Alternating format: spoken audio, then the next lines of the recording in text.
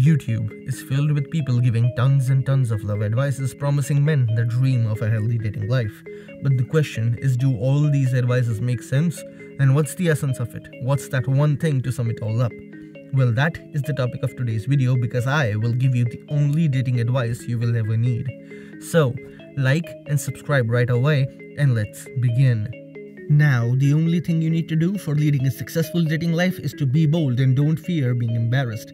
The majority of guys don't get the woman they desire simply because they either get struck by the approach anxiety and never even make the first move, or they get stuck in the friend zone and fear that if they try to flirt or build any kind of sexual tension, they will end up ruining what they currently have. All this is simply a symptom of the fear of being embarrassed and rejected. The only solution is being bold, confident, and fearless. Now, the question arises that how exactly do you do that? The answer is by focusing on the inner game as well as the outer game of seduction.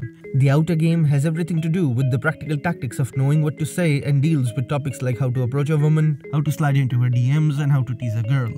Luckily for you guys, I've already made dedicated videos on all those topics that you can check out on my channel or by clicking on the i button above.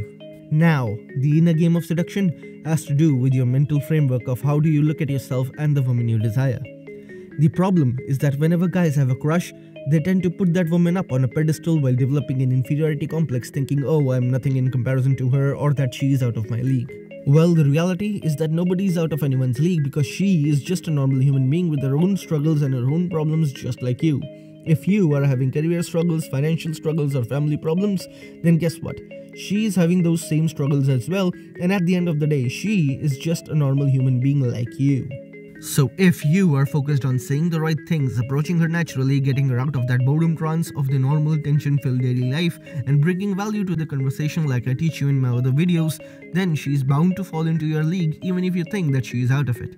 The concept is to get her addicted to you by becoming her pleasure center, her personal safe haven where she can find refuge after a day filled with struggles while slowly making moves and taking things to the next level so that you become the person with whom she can let her dirty side walk free without the fear of being judged.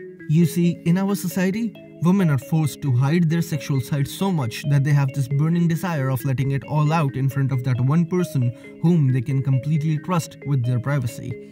That's why girls with that shy personality have the wildest sexual side that might even surprise you. Your job is to trigger that sexual side by doing the right things that I teach you on this channel. Now, I hope you get the concept of it and found value out of this video. If you did, then like and subscribe right away. And if you want to know more about this art of triggering the sexual side of the female mind, then click on the first link in the description right now because that link will take you to a free training webinar about tactical attraction, which is the number one course on psychological seduction that I recommend. So, don't miss out, click on the first link in the description right now, and I will see you in the next video.